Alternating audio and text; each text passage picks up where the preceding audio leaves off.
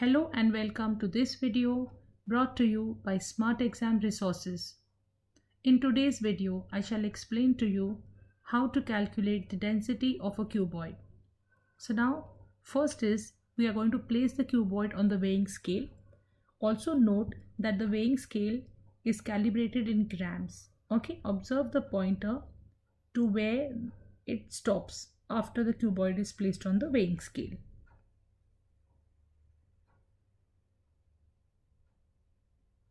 Okay. So we come to know that the mass of the cuboid is 3 grams. Fine. Now the next thing is to find the dimensions of the cuboid. That is to find the length, height and the width of the cuboid. And why am I doing it? To find the volume of the cuboid. Because I know density is equal to mass upon volume. I already have found the mass. Now we need to find out the dimensions of the cuboid. So let's begin. As you can see, the length is equal to 4 centimeters. So I'm going to write down all the readings on one side.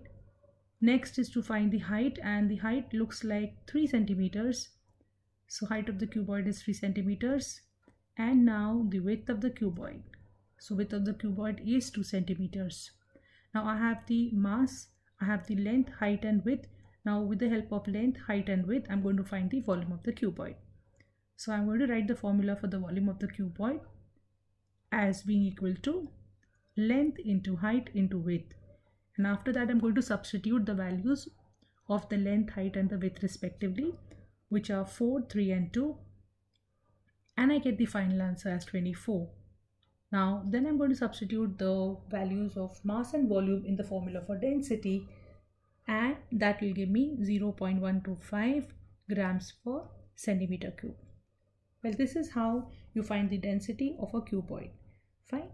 So now something more I would like to tell you here that this video is made by Smart Exam Resources and uh, we are home to uh, resources for IGCSE, quality resources which include topic-wise past papers, study notes, solve past papers, video lectures, test series, mock exams, and we also offer tutoring facilities.